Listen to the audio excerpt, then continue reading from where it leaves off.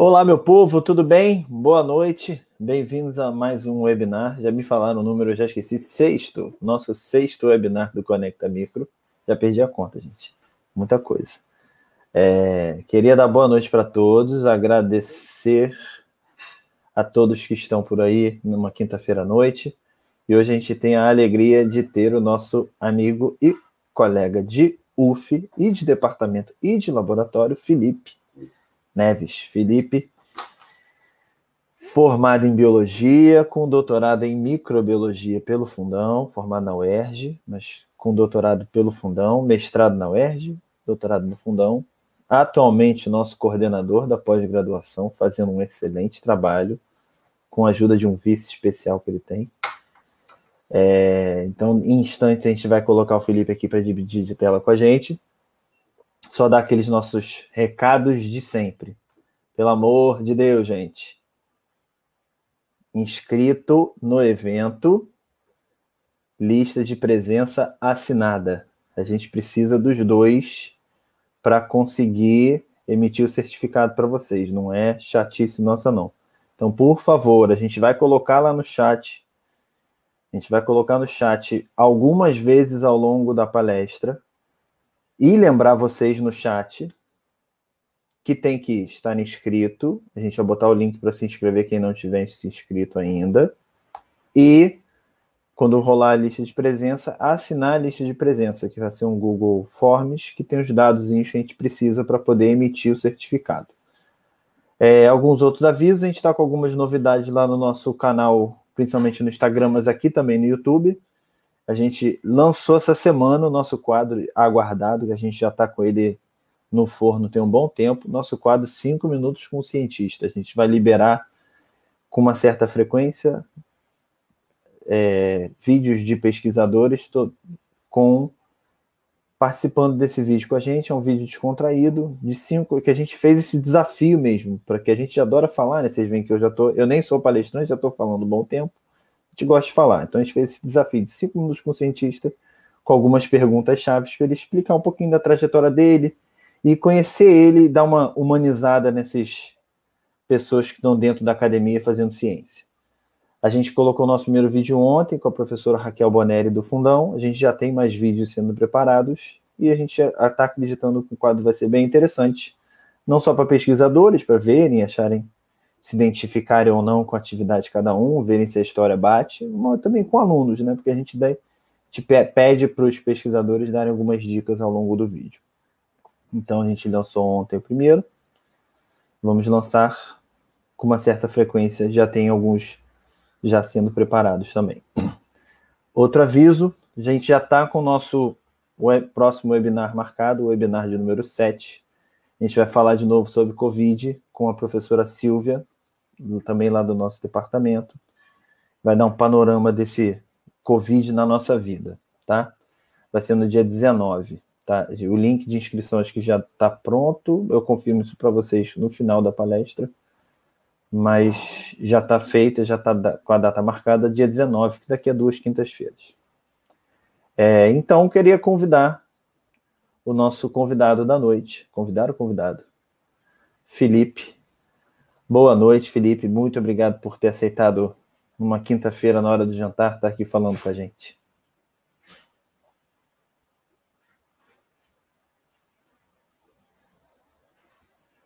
Eu não estou te ouvindo, Felipe. Não sei se o microfone desligou. Me ouvem agora? Agora tudo perfeito. Estava mudo aqui.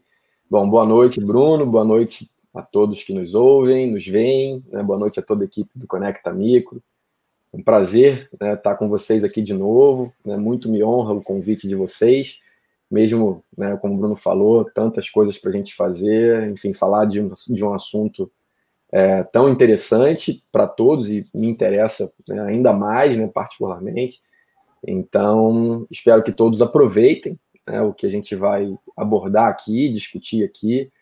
Enfim, é uma ferramenta fantástica e acho que é um momento oportuno de falar dela, já que o Nobel de Química foi justamente para as inventoras desse, dessa ferramenta genética chamada de CRISPR. Então, obrigado pelo convite. Daqui eu já vou direto. Já vai direto, já botou a tela aí. Maravilha. Tá? Boa apresentação, agora quem some sou eu. Maravilha. Um abraço. Bom, gente, olha eu aí de novo para falar de CRISPR. Tá? Então, me apresentando, né, meu nome é Felipe Piedade Gonçalves Neves, eu sou professor da Universidade Federal Fluminense e a gente vai abordar um pouquinho hoje aqui o tema é, CRISPR. Né? O título que eu escolhi né, para a nossa apresentação hoje foi Edição Extraordinária, CRISPR leva o Prêmio Nobel. Eu não sei se vocês conseguiram pegar o trocadilho aí, mas eu sou bem conhecido pelos meus trocadilhos super engraçados. Né? Então, essa edição extraordinária aí tem a ver com a capacidade dessa ferramenta né, chamada de CRISPR né, de editar né, é, a sequência genética. Então, daí a, a brincadeira com o título.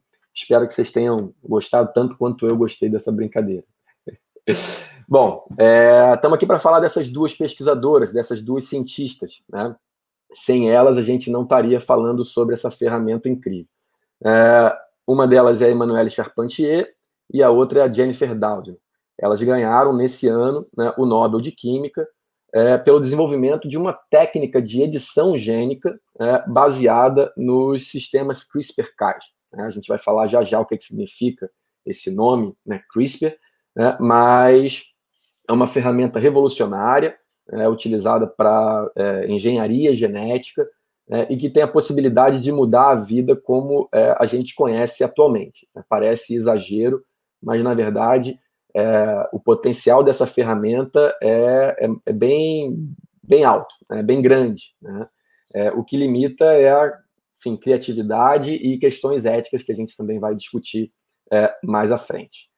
Bom, é, antes de falar de CRISPR especificamente, vamos falar o que, que é edição gênica. Né? Edição gênica, que o CRISPR pode ser utilizado, nada mais é do que uma modificação precisa na sequência de DNA de uma célula de modo bem específico, seja por inserção de bases é, nitrogenadas, seja por substituição ou por deleção dessas bases.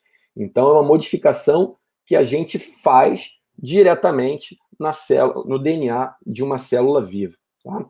E para engenharia genômica, né, já existiam outras ferramentas de edição gênica. Né?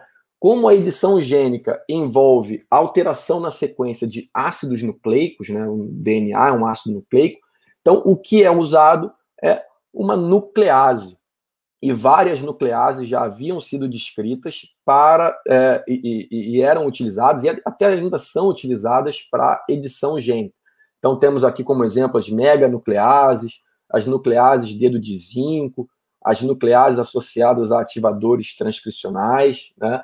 Enfim, são é, ferramentas que já é, haviam sido descritas, mas não são tão simples de serem utilizadas, não são tão fáceis, não são tão acessíveis. Tá? Não vou entrar em detalhes nessas ferramentas, mas existe, exige um, um, um, planejamento maior, um experimento muito mais elaborado, muito mais caro e muito mais demorado. Até que surgiu é, a utilização da ferramenta CRISPR-Cas mais especificamente CRISPR-Cas9, é, para esse fim, né, para edição gênica. Lembrando aqui que o Cas9 aqui é uma nuclease, é a enzima que cliva de fato, que quebra de fato né, o DNA. Né? Mas o que, que é CRISPR? Tá? CRISPR significa isso daí em inglês, né? Clustered Regularly Interspaced Short Palindromic Repeats. Né? Traduzindo, a gente aprende que o inglês é sempre de trás para frente, então vamos lá, de trás para frente, começando com a parte final, né? repetições palindrômicas curtas. Né? O que é uma repetição palindrômica? Né? Se a gente pensar no nome é, de uma pessoa, né? Ana, né? Ana é um nome que, se você ler de trás para frente, de frente para trás, a ordem das letras não se altera. Se a gente pensar numa palavra aí, arara, ovo, né? isso é um palíndromo. É uma sequência que lida de trás para frente ou de frente para trás, permanece na mesma ordem, as letras permanecem na mesma ordem.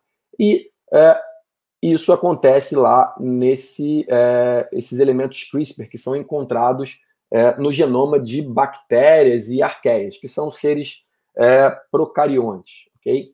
É, e essas repetições palindrômicas curtas, né, elas são repetições porque elas acontecem né, de forma é, repetida, né, elas são espaçadas é, por uma sequência né, chamada de espaçadora ou espaçadores, né, e isso se repete várias vezes naquela região. Então, essas sequências espaçadoras, elas ficam agrupadas numa determinada região, no genoma lá da bactéria ou da arqueia, enfim, né? e elas são agrupadas e regularmente espaçadas por sequências espaçadoras. Essas sequências espaçadoras, elas têm sequências variáveis, tá? Diferente das repetições palindrômicas, que a sequência sempre se repete, os espaçadores têm sequências variáveis, tá? É, e CAS, né? CAS também faz, faz parte dessa, dessa sigla, né? CRISPR-Cas. CAS significa CRISPR Associated, ou seja, é, genes que codificam proteínas que são associadas a esses elementos CRISPR, tá? Esses genes ficam próximos à região lá onde a gente encontra as repetições palindrômicas curtas, lá no genoma do, da, da, bactéria, né, por exemplo. E esses genes normalmente codificam é, enzimas, né, proteínas com função enzimática, que atuam como helicase. Né, a helicase é uma enzima que abre, né, como se fosse aqui um zíper, né, abrindo a fita dupla de DNA, né, ou nucleases, né, que são enzimas que clivam o DNA e aqui representados então por uma tesoura, ok? Então, CRISPR-Cas são essas repetições palindrômicas curtas, espaçadas por sequências variáveis, que são chamadas de espaçadores, e próximo a essa região lá no genoma, a gente tem os genes acessórios, os genes associados, chamados de Cas. Né? É, essa ferramenta CRISPR-Cas9, ela foi é, transformada numa ferramenta de edição gênica. Já já eu mostro para vocês como ela foi transformada nisso, mas foi desenvolvida mais recentemente, né, em 2012. Né, e as outras ferramentas vieram um pouco antes delas. E aqui a gente tem uma comparação bem, bem simples é, de quando elas foram desenvolvidas e de quanto tempo se demora para fazer um experimento. Então, aqui ZFN, nucleases dedo de zinco, né, é, foram desenvolvidas em 1996 usadas em animais vivos, né, de forma experimental, em 2002 pela primeira vez, é, e o experimento demora de meses até um ano. Tá? As talens foram desenvolvidas também mais recentemente, em 2010, 2011, rapidamente é, em, utilizadas em animais vivos, e o tempo para se fazer um experimento é, de semanas, podendo durar alguns meses. Tá? E CRISPR-Cas, que dessas ferramentas é a mais recente, foi desenvolvida em 2012 né, e prontamente já aplicada em animais vivos, né, e o tempo para se fazer um experimento é de dias, né, além do custo que é muito mais baixo. Então, uma, uma ferramenta muito mais simples. Tá?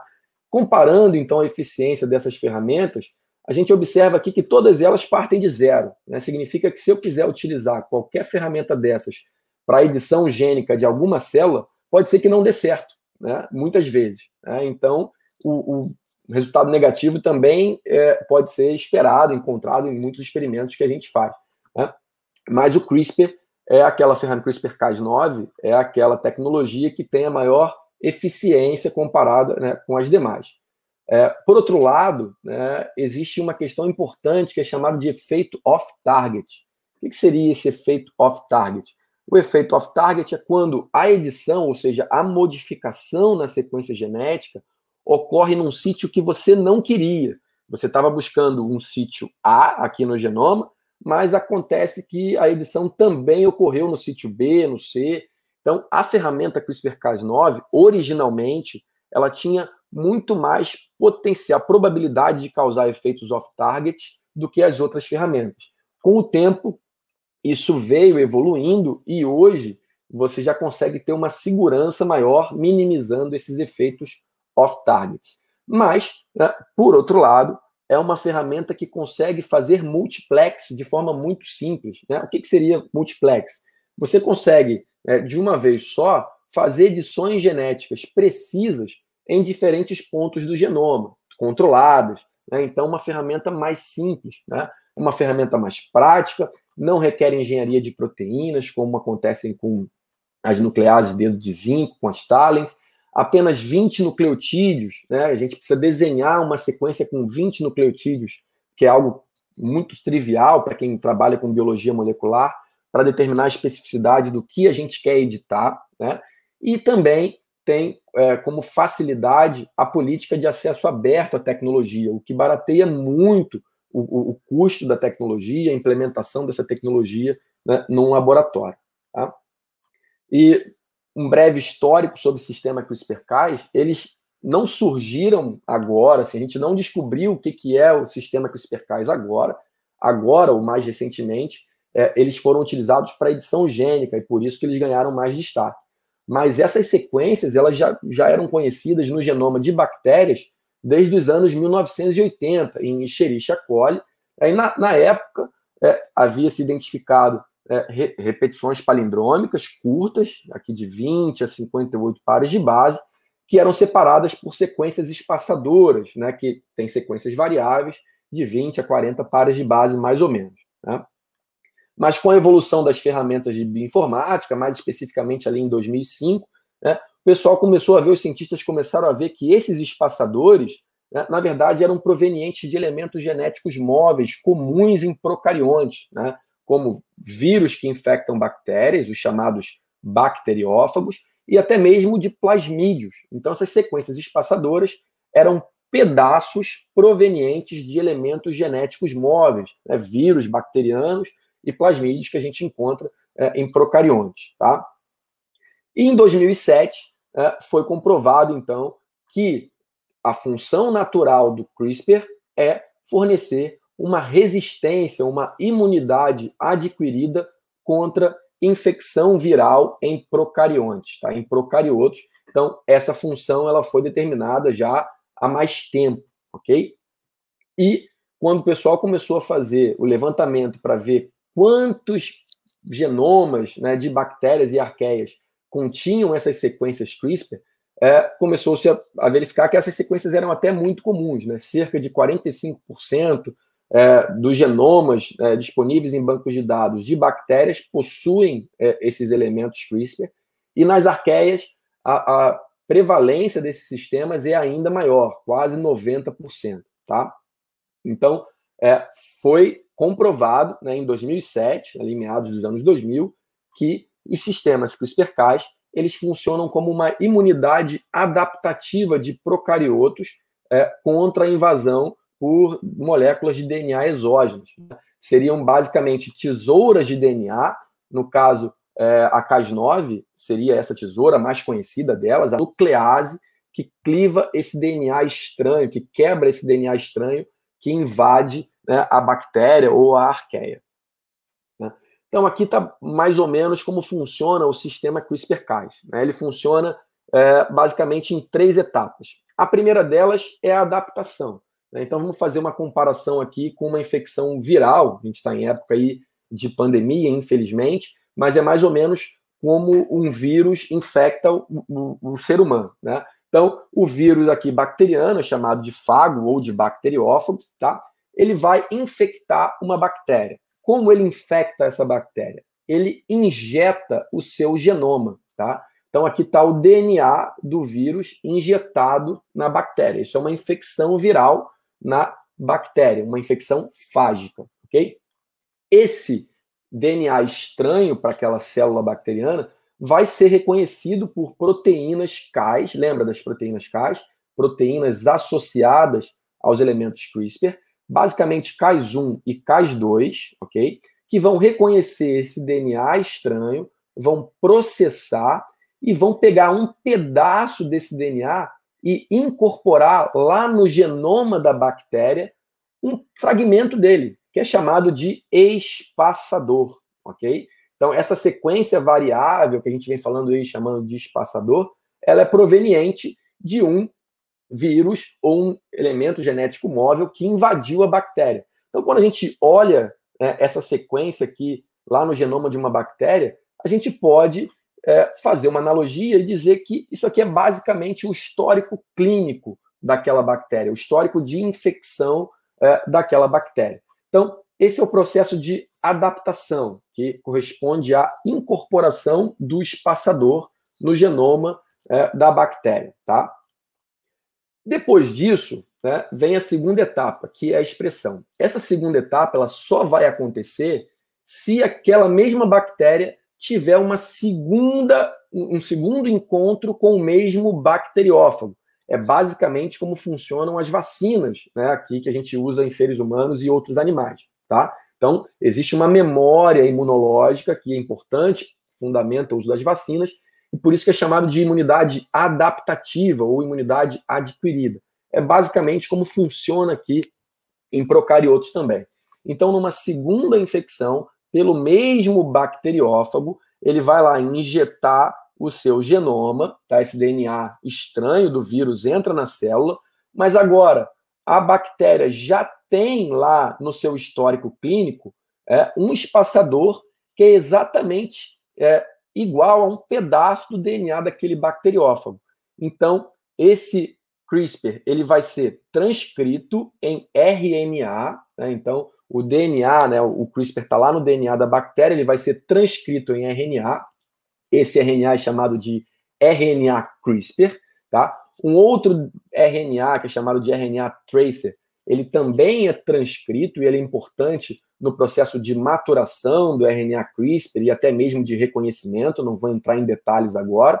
Né? Então, primeiro é feito um RNA CRISPR precursor, depois ele é maturado, né? processado, e aí vira o RNA CRISPR junto com o RNA tracer, tá? Esse é, é, essa é a etapa da expressão.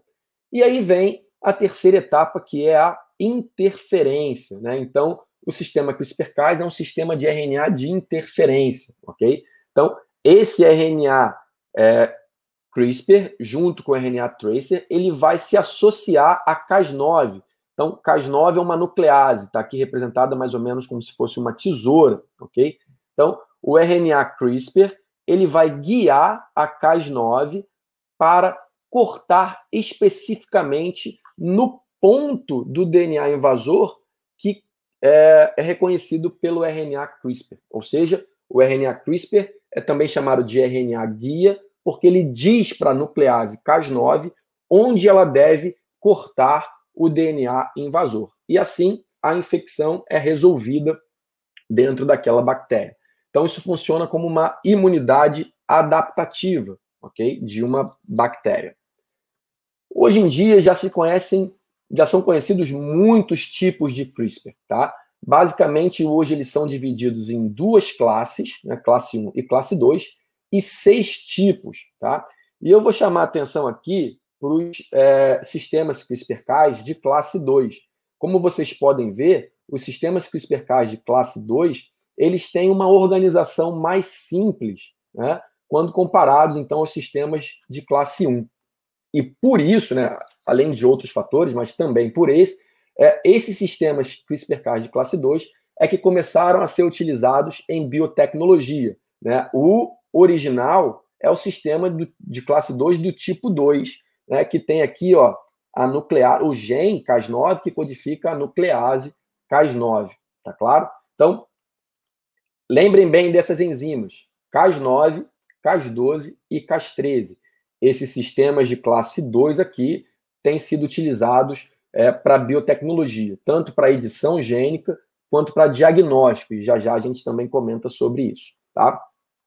Bom, é, para falar um pouquinho também do que eu faço né, no laboratório, eu trabalho com enterococos, e enterococos, é, em enterococos já foram descritos três elementos CRISPR diferentes do tipo 2, tá? O CRISPR-1, CRISPR-2 e o CRISPR-3, tá? Sendo que o CRISPR-2, ele é chamado de CRISPR órfão, porque ele não tem proteínas CAS, ele não tem genes CAS é, associados ali. Mas ele pode funcionar se aquela mesma bactéria tiver o CRISPR-1 ou o CRISPR-3. Ele pode usar as enzimas associadas a outros CRISPR e também funcionar. Né? É, um trabalho de 2010, né, que eu vi num congresso que eu fui, é, observou que cepas de enterococos fecales que não apresentam esse sistema CRISPR-Cas normalmente possuem genomas maiores, e isso foi comprovado estatisticamente. Né? Então, um genoma maior em cepas que não possuem sistemas CRISPR-Cas. Né? Isso é fácil de entender, porque se a cepa não possui o sistema CRISPR-Cas, ela acaba sendo mais permissiva à entrada de DNA é, exógeno, seja um, um, vírus bacteriano, seja um plasmídio, e isso contribui para aumentar o seu genoma. E esse estudo é, de 2010, de Palmer e Gilmore, eles também observaram é, que os sistemas CRISPR-Cas eram menos comuns na espécie Enterococcus faecium, né, mas eles avaliaram um número muito pequeno de amostras. Mesmo assim, eles conseguiram concluir algumas informações bem interessantes. E também já tinha sido é, relatado na literatura que cepas VRE, que são cepas multiresistentes do gênero Enterococcus, normalmente apresentam muitos elementos genéticos móveis no seu genoma, plasmídios, fagos, né, transposões. E esses elementos genéticos móveis, eles correspondem a um quarto do genoma dessas células. Né? E normalmente os VREs não possuíam, é, é, não possuem sistemas CRISPR-Cas.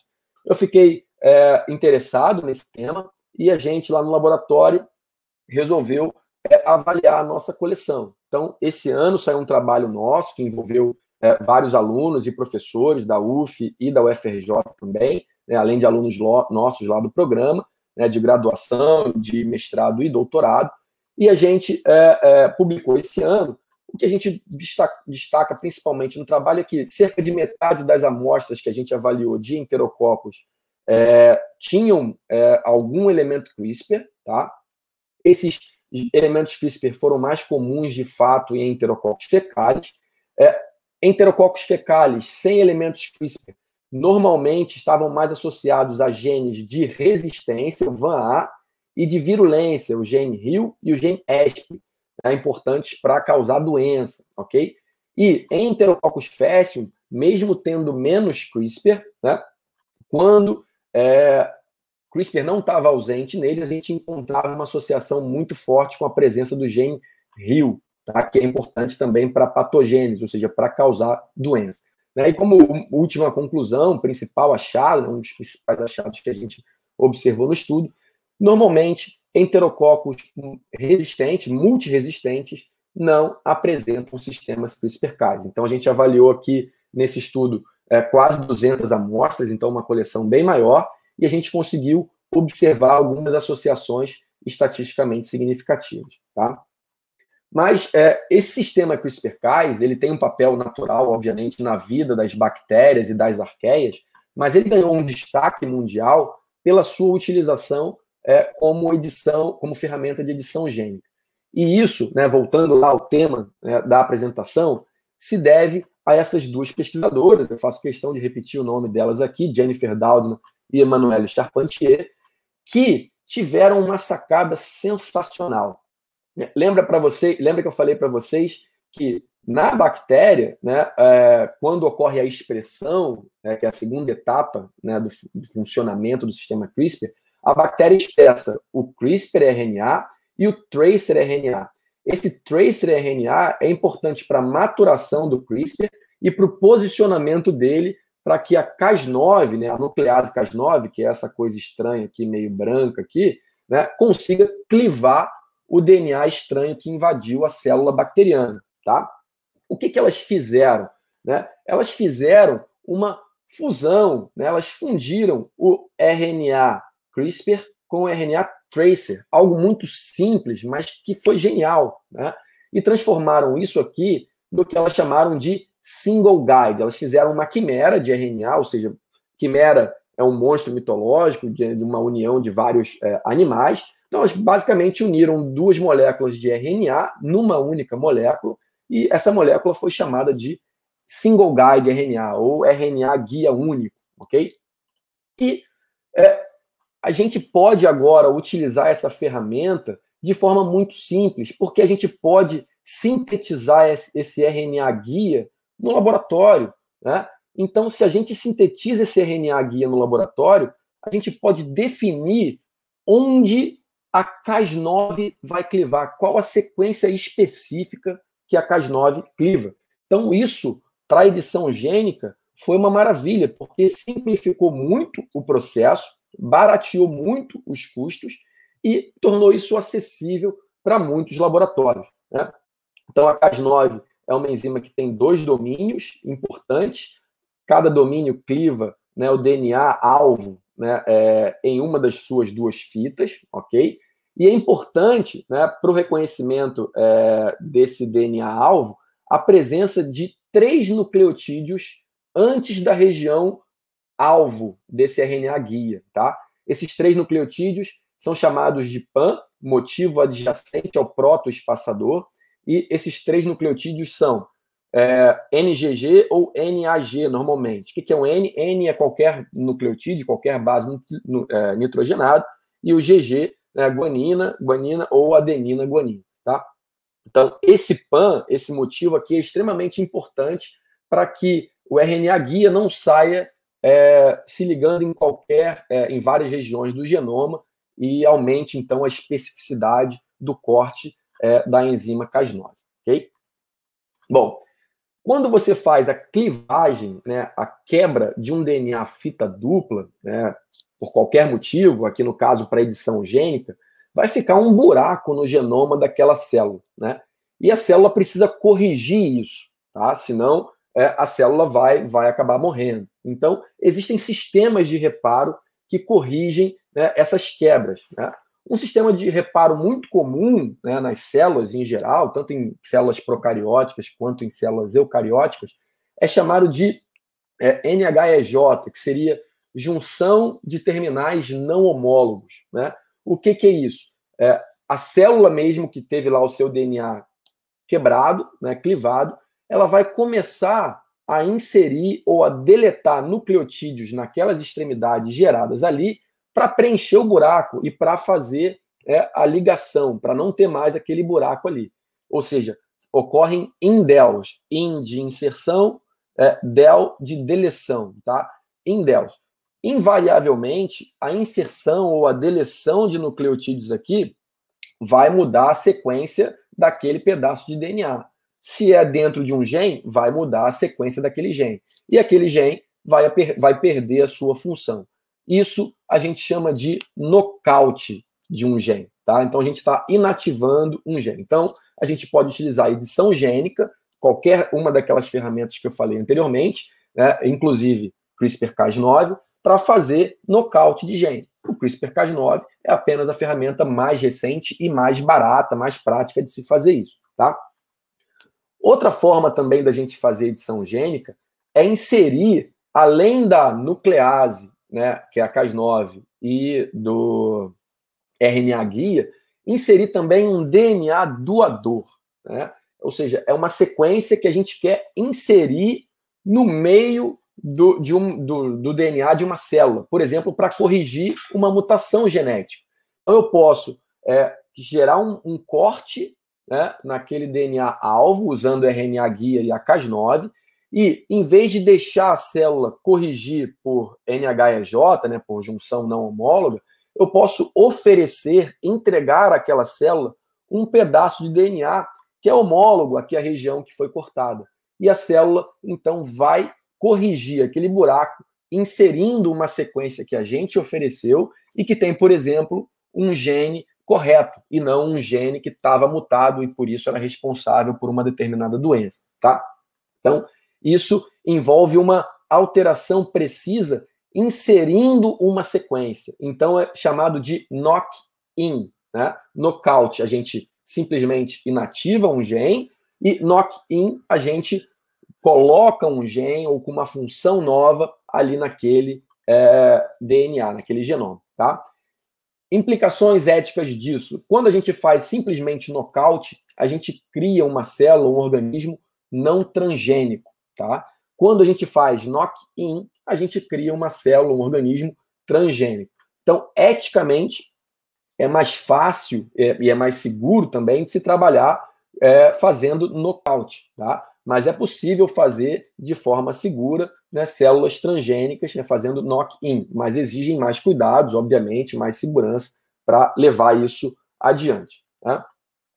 E aí surgem as potenciais e as reais aplicações é, do, dessa ferramenta tecnológica que vai mudar o futuro, com certeza.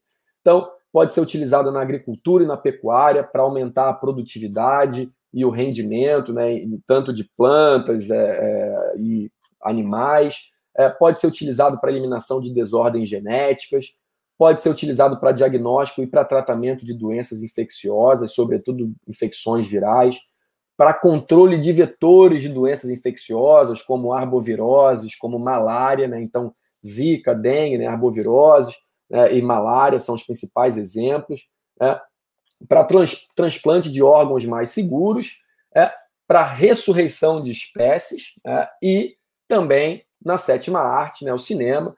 É, eu não sei se todos tiveram a oportunidade de ver esse excelente filme, né, que é Rampage, Destruição Total, mas se vocês viram, é, não sei se gostaram, mas se não viram, enfim, o pano de fundo é que esses monstros foram criados por edição gênica usando CRISPR-Cas. Né? Esse filme foi lançado em 2018, então provavelmente está disponível em algumas é, plataformas digitais aí. E na mesma época, um homem anunciou, não era, é, não trabalhava em nenhuma instituição de pesquisa nem de ensino, e ele anunciou que tinha criado uma mistura que dizia ser capaz de alterar o seu próprio DNA e deixar e deixá-lo mais forte. Né? Ele mesmo se injetou é, uma, enfim, essa mistura baseada em CRISPR, né, que alteraria suas fibras musculares, tornando-o mais forte. Né? É, ele fez isso, obviamente, sem controle nenhum, é, já ouvi depois disso, ele continua é, com a mesma estrutura corporal, né? então não deve ter funcionado muito bem. É, mas, de fato, em teoria, é possível fazer qualquer edição gênica em células, tá? E eu já confesso que não é o The Rock, o, o homem que tomou essa mistura aí para de, deixá-lo mais forte. Ele parece ser naturalmente dessa forma, né? Mas eu recomendo é, que vocês assistam a série, o documentário, que foi lançado em 2019 por uma plataforma aí de, de, de streaming, enfim. É, o documentário é chamado Seleção Artificial, e um dos é, personagens, na verdade, uma das figuras reais desse documentário é justamente esse Josiah Zainer aqui, é, que, enfim, tenta utilizar essa ferramenta de forma ilegal, antiética, é, eles são chamados de biohackers. Né? Então vale a pena assistir esse documentário. Bom, dando exemplo aqui de outras aplicações, então na agricultura né, é, existem diferentes trabalhos é, já utilizando a ferramenta CRISPR na agricultura para tornar cultivos mais saudáveis, mais resistentes a patógenos, né, a pestes que atacam né, é, esses cultivos, aumentar o rendimento, aumentar a produção, a produtividade né, desses, é, desses cultivos. Então, frequentemente, esses trabalhos envolvem é, testes em arroz. Né? Essa ferramenta é muito utilizada é, em países orientais, China principalmente, e o consumo de arroz é muito grande. Então, é, vários trabalhos saíram, né, é, principalmente com arroz, mas tem, enfim, vários outros tipos de vegetais. Tá? Na pecuária também, então, desde 2014, é, no Uruguai, já, já se edita embrião de merino, que é um tipo de ovino, e esse merino ele produz uma a lã de melhor qualidade. É, na China também fizeram edição em embriões de cabras cashmere, cashmere, enfim, cashmere, imagino que todos já tenham ouvido aqui falar, né? É, então eles editaram genes é, presentes nos embriões né, desses animais para aumentar a produção de carne e ou de pelos, né? Então, é, cashmere não é, não é lã, né, é um fio né, bem fininho, né, então são é, pelos. É, depois me tirem a dúvida se é pelo ou se é cabelo, porque existe diferença, mas depois eu quero que os veterinários me ajudem nisso daí.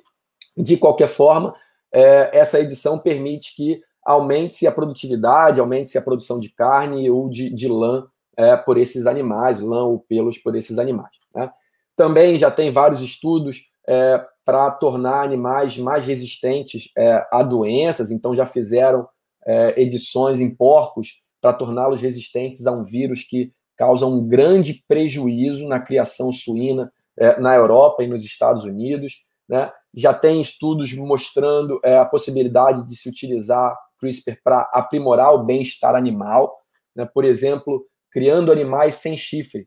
É, só me parece um pouco controverso aqui, é, seria um bem-estar animal, criar um animal sem chifre é só para diminuir a dor do animal, porque o chifre acaba sendo cerrado pelo, enfim, pelo criador, né? Então é, é um, às vezes um pouco controverso, mas não sei se é muito bem-estar animal. Mas de qualquer forma, é, existem, existe essa possibilidade. né? então criar animais para serem utilizados como modelos em pesquisa e em biomedicina, e também para eliminar pragas, pestes, não só para a agricultura, né? não só para pecuária também, mas também para seres humanos, ok? Então, utilizando uma, é, uma estratégia chamada de Gene Drive, que eu vou entrar em detalhes um pouquinho mais à frente, né? mas Gene Drive não tem uma, uma tradução em português muito utilizada, mas seria direcionamento genético ou propulsor genético. Já já a gente comenta sobre Gene Drive. Né? Bom, é, para aplicações em desordens genéticas, né, essa ferramenta, ela, enfim, né, não tem limites. Né? Então você pode é, estudar o paciente de uma que está com uma determinada doença, então você extrai o genoma desse paciente, identifica mutações, alterações genéticas que podem estar associadas a uma determinada doença.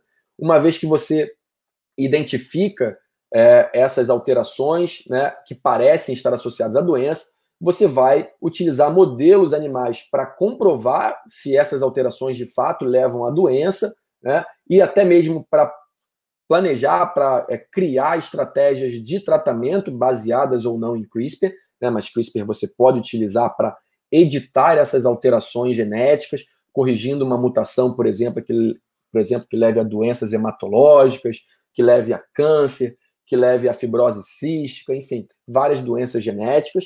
E aí, uma vez comprovada a segurança e eficácia em modelos celulares ou modelos animais, você parte para ensaios clínicos em humanos, que é o que a gente está observando agora para vacina, né? mas para qualquer tipo de tratamento novo, né, o caminho é esse. Você faz primeiro no laboratório, é, no, cria uma hipótese, depois você faz testes laboratoriais e depois faz ensaios clínicos né, em células ou animais e depois você parte para humanos. Tá? É, quando você faz ensaios clínicos em humanos, todos os projetos precisam estar cadastrados nesse site aqui, clinicaltrials.gov. Tá? Então eu acessei esse site hoje e tem lá registrados 42 ensaios clínicos que envolvem CRISPR, tá? É, alguns deles já terminaram, outros estão recrutando, outros estão suspensos, mas no total já foram registrados 42 ensaios. A maioria deles envolve câncer, tá? Alguns doenças hematológicas, né? Anemia falciforme, beta-talassemia, tem outros para infecções virais também, tá? Então as aplicações são, são muitas e tem alguns para diagnóstico. Bom, nas aplicações de câncer, né, que dominam esses ensaios clínicos já em andamento ou já em fase de recrutamento, 24 dos, dos 42 ensaios clínicos envolvem câncer, diferentes tipos de câncer, tá? Em diferentes locais, tumores sólidos ou não, tá? Então, neoplasias hematológicas também, e também temos é, linfomas e leucemias. Né? Desses 24, a maioria é na China e nos Estados Unidos, e outros é, ocorrem ali na França ou em outros países. Tá? É, então, China e Estados Unidos são os dois, os dois países que lideram a corrida é, do uso dessa ferramenta é, de edição gênica. E muitos desses estudos que envolvem é, CRISPR para combate a câncer é, têm como alvo a inativação de um receptor, que é esse receptor PD1. Tá? Esse receptor PD1 ele é importante para é, ativação é, da apoptose de células tumorais. Então, ele precisa ser bloqueado, ele precisa ser reprimido para que a célula tumoral entre em apoptose. Então, a ideia de nove desses estudos é utilizar a ferramenta CRISPR-Cas para fazer a edição gênica dessas células, né, é, de algumas dessas células, para que o receptor PD1 na verdade, que está presente no linfócito é, T, não reconheça o, a sua molécula ligante, que é chamada de PDL1, que está lá nas células tumorais e em outras células também no nosso corpo. Então, evitando essa ligação, o linfócito T consegue mandar o sinal para a apoptose da célula tumoral. Então, a ideia principal é essa.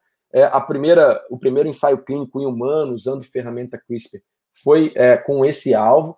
Foi uma ferramenta utilizado um estudo ex vivo, ou seja, em que você retira as células T do paciente, faz a edição gênica in vitro no laboratório e depois devolve a célula T reprogramada, né, editada, para o sítio lá do tumor. Foi um, um, um câncer de pulmão né, que estava sendo é, testado lá na, na China, né, esse tipo de tratamento alternativo. Tá? Bom, dando exemplo aqui em doenças infecciosas, né? É, um dos principais vírus que tem se tentado utilizar essa ferramenta é o vírus é, da AIDS, o HIV, mas vários estudos, assim que, se, assim que começou a ser utilizada essa ferramenta, mostraram que o vírus da AIDS conseguia superar o CRISPR, né? Então, CRISPR-Cas9 para combater é, HIV pode ser uma faca de dois gumes, né? Por que isso?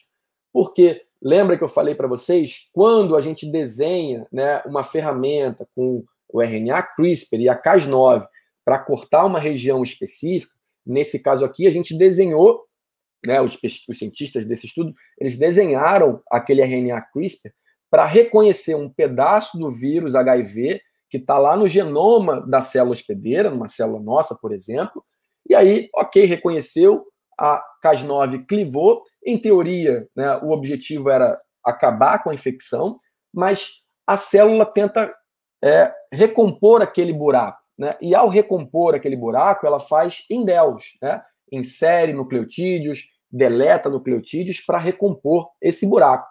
E às vezes esses indels que levam a alterações na sequência, ou seja, levam a mutações, eles podem ser de fato deletérios. Essas mutações podem ser deletérias para o vírus. Mas, em alguns casos, as mutações podem não ser deletérias para o HIV. Né? E aí você cria uma nova variante do vírus que vai ser resistente, inclusive, a essa ferramenta aqui, CRISPR-Cas9, que você desenhou. Então acaba sendo uma faca de dois gumes, né, se utilizar essa ferramenta para HIV. Mas existe já uma estratégia, né, que é utilizar uma enzima morta, né, chamada de DED-Cas9. Essa enzima ela tem mutações nos dois domínios, que são os dois domínios que clivam é, as duas fitas de DNA, o HNH e o RUVC, e é, ligado a essa, é, a essa Cas9 morta, essa DED-Cas9, é colocado um repressor, que é uma molécula que impede que o vírus, né, o HIV aqui, seja expresso é, lá naquela célula que está infectada por ele. Né? Então o vírus fica ali, é, a Cas9 reconhece, mas não cliva o vírus, né, não elimina a infecção, mas impede que aquele vírus seja expresso. Então controla-se a infecção. ok? E mais recentemente, né, Jennifer Doudna, aqui de novo, né, ela e o grupo dela, enfim, ela criou uma empresa né, de biotecnologia e eles criaram uma ferramenta chamada Detector, tá? que significa aqui, isso daqui em inglês, essa sigla grande aqui, que é uma ferramenta de diagnóstico de infecção por HPV, né, o vírus, o papiloma vírus humano. Né? Então, essa ferramenta ela é capaz de detectar dois tipos de HPV em uma célula humana infectada. Então, você pega o material do paciente e utiliza esse material coletado do paciente para fazer a detecção. Então, uma nova utilização da ferramenta, não para edição gênica, mas para diagnóstico. E nessa ferramenta, eles usam uma outra CAS, não a CAS 9, sim a CAS 12, que reconhece e cliva o DNA, fita dupla do HPV, que está lá na célula-alvo, e depois vai clivar uma molécula de DNA fita simples, que é colocado lá no kit, né, como repórter, ou seja, aquela molécula que vai sinalizar emitindo uma fluorescência que é a presença do vírus HPV-16 ou do tipo 18 lá, tá? Na mesma revista, né, em que foi publicada essa, essa nova tecnologia, né, que foi na Science em 2018, um outro pesquisador, que é o Feng Zhang, que é do MIT, também lá nos Estados Unidos, eles publicaram uma tecnologia é, semelhante, chamada de Sherlock por eles, que utiliza uma outra enzima, que é a Cas13, que reconhece RNA e depois cliva molécula é, de RNA, que vai, vai ser utilizada também como repórter, emitindo fluorescência, indicando um resultado positivo. Só que essa ferramenta ela foi descrita para fazer diagnóstico de arboviroses, né, diferenciando Zika e dengue. Tá? É, isso foi bem interessante porque esses dois grupos eles brigam pela patente ainda hoje é, da ferramenta de edição gênica CRISPR, mas é incontestável que a Jennifer Doudna e a Emmanuelle Charpentier lançaram a tecnologia antes, descobriram a tecnologia e foram elas que criaram o RNA guia, que sem o RNA guia né, você não consegue fazer edição gênica. Mas o Zhang utilizou pela primeira vez a ferramenta em células eucarióticas, né? então células humanas, células de outros animais, células vegetais, enfim, são exemplos de células eucarióticas, e o uso maior hoje em dia é em células eucarióticas. Então essa briga continua na justiça americana e vamos ver quem ganha. Né? Alguns rounds foram ganhados pelo Feng Zhang. Tá?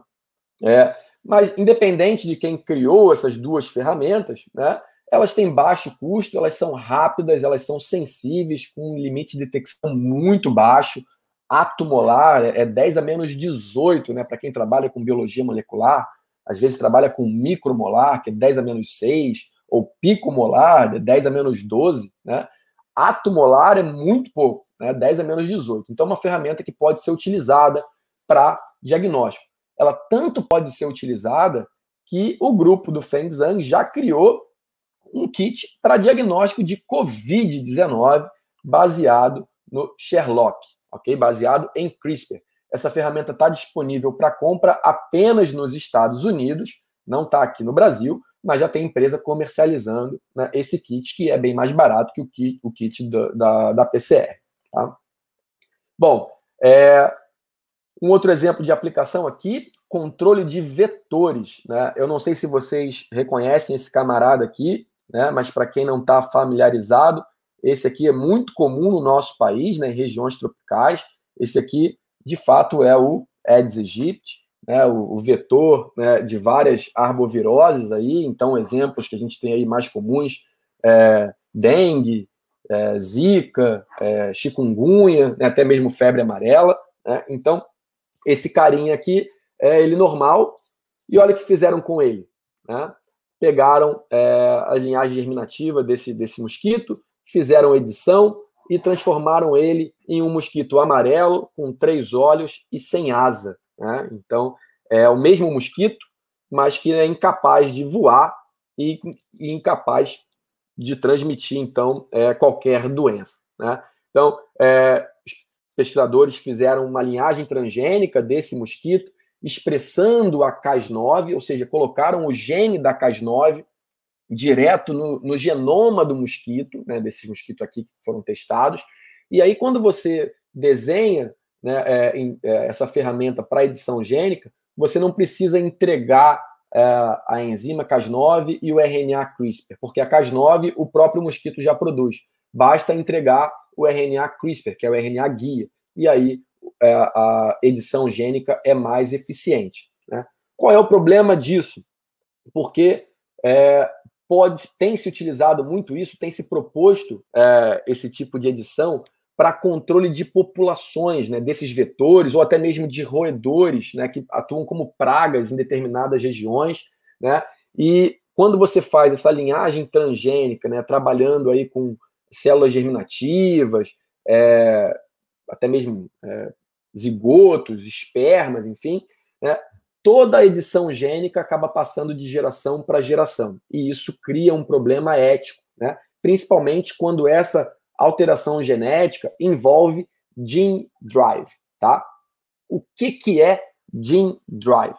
Então, gene drive é uma forma de garantir que as gerações subsequentes tenham um alelo específico de um determinado gene. Né? Se a gente lembrar aqui, né, organismos diploides, eles têm uma parte do, do seu genoma que vem do pai e a outra parte que vem da mãe. Né? Então, é, cada gene, a gente tem é, dois alelos. Na verdade, um do pai, um que vem da mãe. Esses alelos podem ser idênticos ou podem ser diferentes. Quando você faz gene drive, você equipa a célula, né, enfim, no caso aqui do mosquito, que eu estou dando exemplo, né, com uma maquinaria para reconhecer qualquer alelo diferente do desejado e clivar isso. Então, na prática, acontece isso daqui. Naturalmente, quando você tem né, é, o acasalamento, enfim, a, a progenie, né, a geração é, é, que descende desses é, progenitores, enfim, é, naturalmente, ela vai ser equilibrada. Uma parte vai ter né, um determinado gene, a outra parte vai ter um determinado gene, você vai ter uma mistura dos genes do pai e da mãe. Quando você coloca, equipa um desses mosquitos com essa ferramenta chamada de Gene Drive, né, ele vai garantir que o outro alelo que veio da, do pai ou da mãe, enfim, depende de quem você colocou, vai ser exatamente o mesmo que o seu. Né? Ou seja, ele vai reconhecer um alelo diferente, vai clivar esse alelo diferente e a célula, para corrigir, ela vai usar como molde o alelo daquele, é, daquela linhagem que está com o gene drive. Isso garante que toda, todos os descendentes vão ter somente o mesmo alelo. Com isso, você controla a população e você pode até extinguir uma determinada população, seja de mosquito, né, seja de roedores, enfim, de qualquer né, animal que você fizer esse tipo de é, abordagem. Então, ele é bem complicado, tá?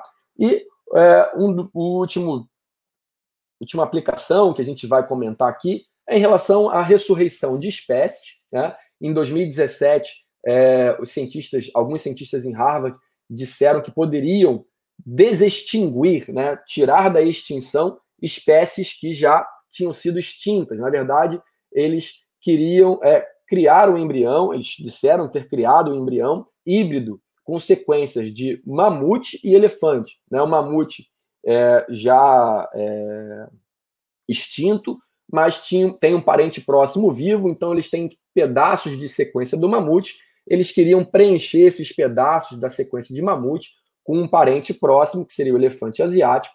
Então, basicamente, eles criariam uma espécie híbrida que eles chamaram de mamufante. Né? Até agora não vi mais nenhuma informação sobre é, o andamento desse tipo de experiência. Mas eu, de fato, é, não recomendo, não sei, já, vem, já me vem na cabeça um, um, filme, e eu não sei se a arte imita a vida ou se a vida imita a arte. Eu acho que o resultado não foi muito agradável no cinema. Não sei se na vida real vai ser o mesmo. Né? Bom, é, para finalizar, é, deixar aqui umas considerações, é, principalmente em relação a questões éticas. O que, que é certo, o que, que é errado, qual é o limite que deve ser implementado para que a gente utilize essa ferramenta de edição genética. É uma ferramenta que pode trazer muitos benefícios, mas ela também pode trazer é, é, situações muito delicadas se não houver uma regulação. Né? Então, modificações em células germinativas e gene drive é uma das questões principais que envolvem é, a edição gênica, tá? edição genômica, e isso é, tem gerado uma discussão muito grande no ambiente é, científico. Né? A indústria de alimentos já usa alimentos transgênicos, né? e muitas coisas que a gente consome é, são transgênicas, e CRISPR é apenas uma ferramenta diferente que pode criar também é, alimentos transgênicos, tanto de origem animal quanto vegetal. É, então é uma discussão importante, transgênico e não transgênico, ok?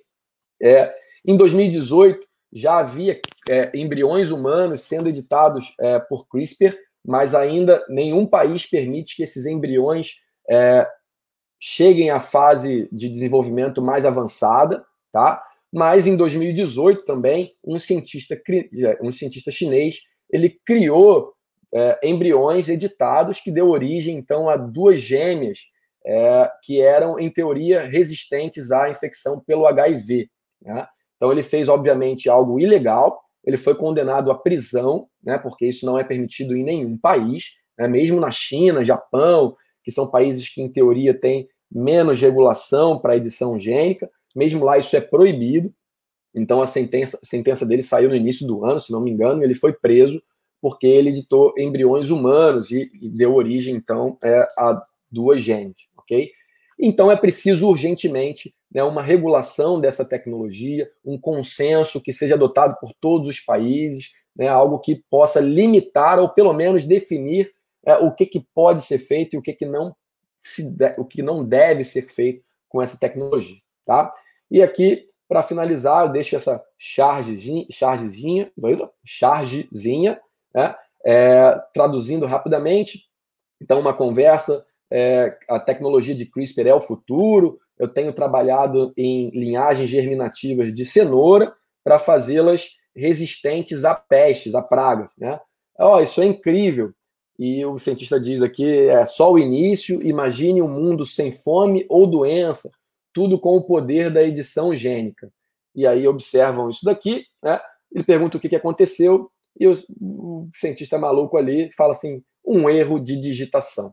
Né? Então a gente tem que tomar cuidado, porque é fácil, mais fácil fazer, não é fácil, mas é mais fácil fazer hoje em dia edição gênica. E se a gente não tiver é, é, legislação não tiver critérios éticos né, para regular o uso dessa tecnologia, é, pode, alguns problemas podem surgir decorrentes do mau uso dela.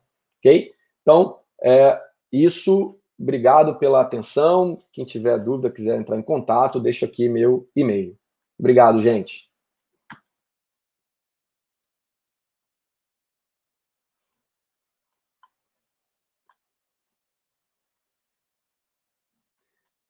E agora eu fico aguardando aí o retorno. Ó, voltou. Tava preocupado. voltei. E aí? Estou de volta. Nem sabia é. que eu tinha desligado minha câmera. Enfim. Coisas de online. Desliga Avancei. o microfone, desliga a câmera. Avancei muito, não, né? Um não, tá de boa. Tá de boa. Muito obrigado. Foi excelente para variar. Acho que eu já te falei isso das outras vezes que assisti uma palestra sua de Cristo, mas Tá ficando que nem vinho, rapaz. a palestra.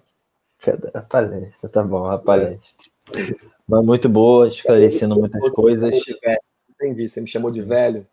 Não, Entendi, jamais. jamais. É... Só aproveitando o, o, indicações de série, tem um capítulo do Explicando também, né, que fala de CRISPR, que é legal. Acho que é o segundo capítulo da primeira temporada. Isso, muito legal, muito interessante também. Bom, então vamos às perguntas. Eu não sei aí, as meninas estão coordenando as perguntas. Por favor, mandem as perguntas. Helena, vulgo Boninho. Qual laboratório de pesquisa? Qualquer laboratório de pesquisa pode trabalhar com esta ferramenta genética? Bom, é... obrigado pela pergunta, Helena. Na verdade, é fácil de implementar se você tem algum conhecimento em biologia molecular mas é preciso que você tenha, além de conhecimento, autorização para trabalhar com organismos geneticamente modificados. Né? Você precisa cadastrar esse projeto.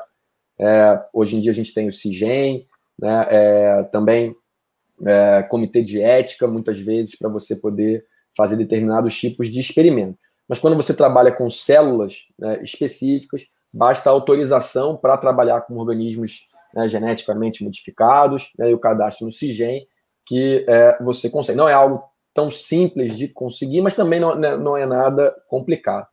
Com relação ao custo, é, isso ficou muito acessível a, a, a vários laboratórios, né? comparado com outras ferramentas de edição gênica, ou até mesmo outras ferramentas moleculares que a gente usa para é, caracterizar as bactérias que, é com que eu trabalho né, no laboratório.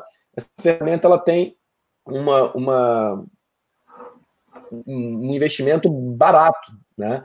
É, você precisa é, basicamente desenhar a, o seu RNA guia e esse desenho você é como se você fosse fazer um primer, né? Você manda a sequência para a empresa que fabrica, que sintetiza esse RNA guia. É, existem softwares, sites online, sites que conseguem fazer isso de forma gratuita, né, barata é, e, e online, rápida. Existem outros que são comerciais, que também desenham essas ferramentas, é, mas é algo bem simples de fazer. Muitas empresas que comercializam têm softwares que você pode utilizar para desenhar. Os kits vão variar, porque você pode comprar o sistema de entrega, né? O que é o sistema de entrega? É como você vai colocar o RNA guia, como você vai colocar a Cas9 dentro da célula-alvo, né? a célula que você quer fazer a edição gênica. Então, tudo depende do tipo de kit que você quer utilizar. Então, esses kits têm valores baixos, né, comparado a outras técnicas moleculares. Então, em torno de 3, 4, 5 mil reais. Agora o dólar aumentou um pouco, então é possível que tenha né, ficado um pouco mais caro, mas não são, não é um custo tão avançado assim.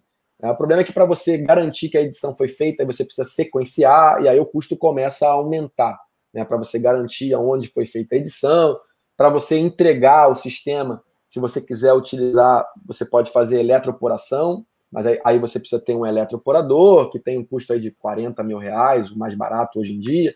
É, mas tem muitos laboratórios que já possuem eletroporadores né, para fazer, enfim, clonagem. Então você pode entrar em contato com esses laboratórios e, e fazer, enfim, a, a entrega do sistema lá nesses laboratórios ou comprar kits que são mais baratos, que entregam de forma é, mais simples, né, usando membranas é, que a gente chama de lipossomas, né? É muito utilizado para células eucarióticas também. Então, tudo depende do, do tipo de, de estratégia que você vai utilizar e para saber qual é a melhor estratégia para a célula que você trabalha, seja célula procariótica ou eucariótica, aí tem que ler. Né? Você tem que ir na literatura, ver o que, que tem sido utilizado, o que, que tem funcionado mais, para ver como é, qual que fu pode funcionar melhor e aí você faz a aquisição. Antes de falar da próxima pergunta, registrar aqui todos os parabéns, muitos parabéns, inclusive de Mamãe Piedade. Mamãe é, Piedade está aqui, deixou seu parabéns, que fica registrado. Muito obrigado pela presença, Mamãe Piedade. Nathalie mandou o link para ela, para ela poder acessar. Já deixamos registrados. Então vamos lá, Milena. Qual seria o custo para implementar essa tecnologia? Eu acho que você pouco, pouco que já respondeu no anterior, mas arredonda é, aí, vai.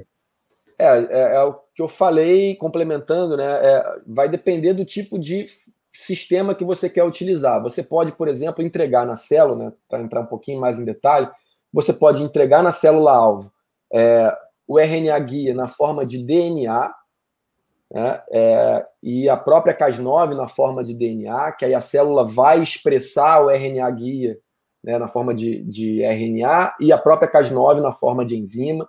Né. Você pode entregar é, na forma de RNA, já pronto, RNA guia, né? E você pode entregar já o RNA guia e a proteína Cas9 prontas. Né? Então, cada kit tem um valor diferente. Quanto mais pronto, mais caro. Né? Quanto mais básico, mais barato. Né? Então, é, os kits vão variar aí. Alguns kits você vai pegar em torno de 5 mil reais, e aí você vai precisar construir a sua. É, enfim, comprar todos os equipamentos, os, os reagentes acessórios. Eu imagino hoje que com, com o aumento do dólar, né, 10 mil reais seria um valor para se começar, né, se você já tem todos os equipamentos, né, tem que deixar claro isso também, né, é, equipamentos são importantes, termociclador para você fazer algumas amplificações, sequenciador depois para poder garantir o que, que foi editado ou não, confirmar, uhum. mas em termos de reagentes, né, eu acho que em 10 mil reais, preciso ver o dólar agora aumentando, né, quanto é que ficou, mas não mais do que isso você conseguia começar né, antes da pandemia. Né? Começar. Tá? Não garantindo que vai ter êxito, né? lembrando, pode dar errado.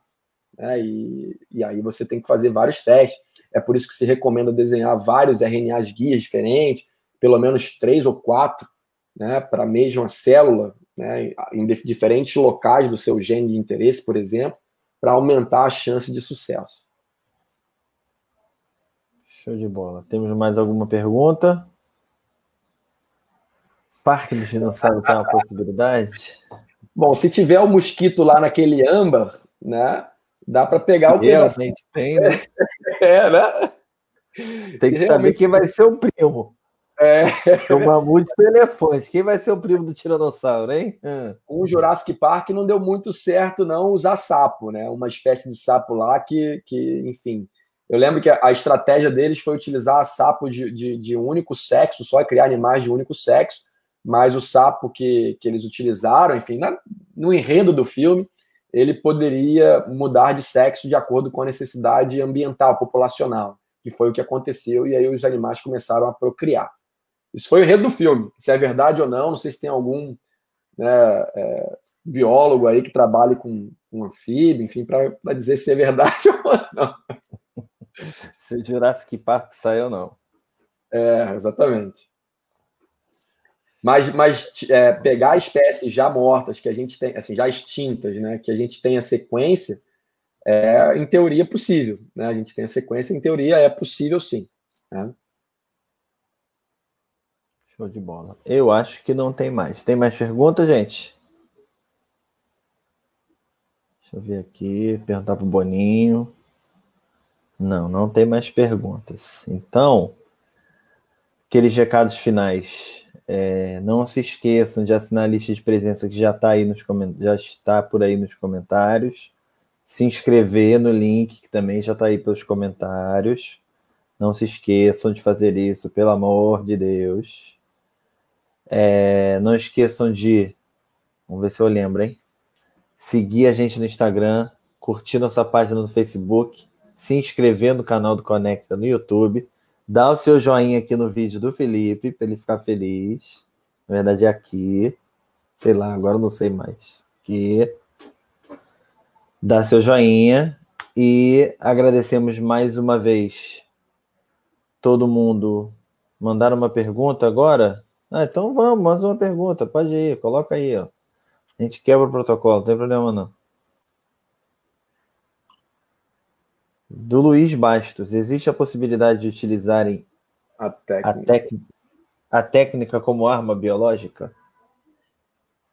Bom, é possível é, né? As pessoas podem fazer edição gênica de um de qualquer é, é, célula e podem criar, por exemplo, uma superbactéria patogênica ou até mesmo um supervírus. Possível é, né? Então, como eu falei é, anteriormente, é, é, uma ferramenta que a aplicação, né, ela, o limite de aplicação dessa ferramenta é a criatividade e a, e a ética, né? Então, é, não se deve fazer isso, obviamente, como não se deve criar arma biológica por nenhuma tecnologia. Então, é, é possível se criar, sim, arma biológica. Nem os que já vêm prontas, né? É, nem os que já vêm prontas. que já vêm prontas da então, natureza, por favor. É, é exatamente. É, e, e, no próprio Estados Unidos, se vocês observarem é, essa série, esse documentário, muita gente tem feito CRISPR na própria garagem. Lá eles compram muitas, é, muitas, é, muitos equipamentos que são jogados fora por laboratórios, enfim, então eles conseguem comprar pela internet, eles acabam montando um laboratório na própria garagem e fazendo um laboratório. É, o pessoal faz... levou a sério a história de, das grandes empresas saírem da garagem, né? é, é, então esse documentário é muito interessante. Ele, ele, ele, gira, ele gera é, muitas dúvidas, muitas questões que precisam ser respondidas né, é, urgentemente.